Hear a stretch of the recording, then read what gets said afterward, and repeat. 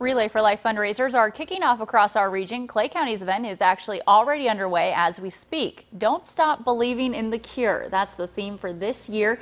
People can come out to Rawlings Stinson Park for both food and entertainment. That's in Manchester. Organizers say they expect more than 400 people to attend. Relay for Life is our community coming together to actually raise funds to help find a cure for cancer. And my son actually had cancer, so it's really personal to me. Their goal is to raise more than $30,000. The Clay County Relay will last until midnight tonight.